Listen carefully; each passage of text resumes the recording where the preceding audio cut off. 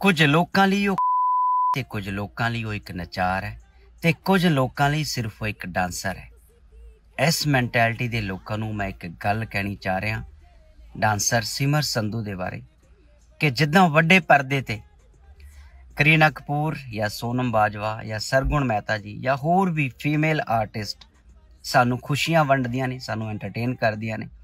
ਇਸੇ ਤਰੀਕੇ ਨਾਲ ਸਿਮਰ ਸੰਧੂ ਜਾਂ ਹਰ ਇੱਕ ਉਹ ਡਾਂਸਰ ਜਿਹੜੀ ਸਾਡੇ ਵਿਆਹ ਤੇ ਜਾਂ ਕਿਸੇ ਵੀ ਫੰਕਸ਼ਨ ਤੇ ਡਾਂਸ ਕਰਦੀ ਹੈ, ਸਾਨੂੰ ਐਂਟਰਟੇਨ ਕਰਦੀ ਹੈ, ਸਾਨੂੰ ਖੁਸ਼ੀਆਂ ਵੰਡਦੀ ਹੈ ਜਾਂ ਸਾਡੇ ਖੁਸ਼ੀਆਂ ਦੇ ਮੌਕੇ ਨੂੰ ਚਾਰ ਚੰਦ ਲਾਉਂਦੇ ਆ ਇਹਨਾਂ ਦੀ ਵੀ ਉਨੀ ਇੱਜ਼ਤ ਹੈ ਔਰ ਇੰਨੀ ਹੀ ਰਿਸਪੈਕਟ ਇਹ ਡਿਜ਼ਰਵ ਕਰਦੇ ਨੇ।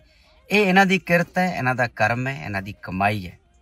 ਇਸ ਕਰਕੇ ਆਪਣੀ ਮੈਂਟੈਲਿਟੀ ਚੇਂਜ ਕਰੋ। ਫਿਰ ਤੁਸੀਂ ਆਪਣੇ ਵਿਆਹਾਂ ਤੇ ਇਹਨਾਂ ਨੂੰ ਸੱਦਦੇ ਕਿਉਂ? ਇਟ ਮੀਨਸ ਤੁਸੀਂ ਵੀ ਗਲਤ ਹੋ। ਜੇ ਇਹਨਾਂ ਦਾ ਨੱਚਣਾ ਗਲਤ ਹੈ, ਤੁਸੀਂ ਵੀ ਗਲਤ ਹੋ। ਇਸ ਕਰਕੇ ਆਪਣੀ ਸੋਚ ਚੇਂਜ ਕਰੋ।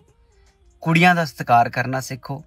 ਇਸ ਕਰਕੇ ਨਹੀਂ ਉਹ ਕੁੜੀਆਂ ਨੇ, ਬਲਕਿ ਇਸ ਕਰਕੇ ਕਿ ਤੁਸੀਂ ਸ਼ੋਅ ਕਰੋ ਕਿ ਤੁਹਾਡੀ ਪਰਵਰਿਸ਼ ਇੱਕ ਚੰਗੀ ਮਾਂ ਨੇ ਕੀਤੀ ਹੈ। Thank you so much